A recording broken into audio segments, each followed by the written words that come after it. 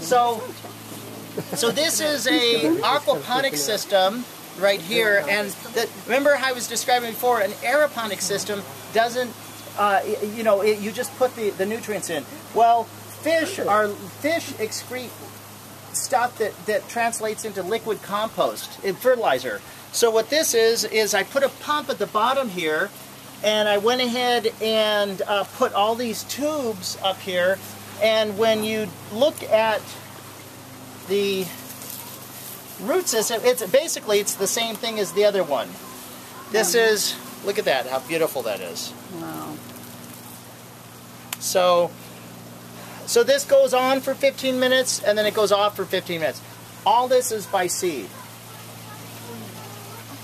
And there's, uh, so it, so I call this, you, some people call it farmscaping, some people call it foodscaping. It's definitely beyond landscaping. You know, that's such a general term because this isn't just something of beauty, but it's something that you could actually, you can ingest and it could be a part of you.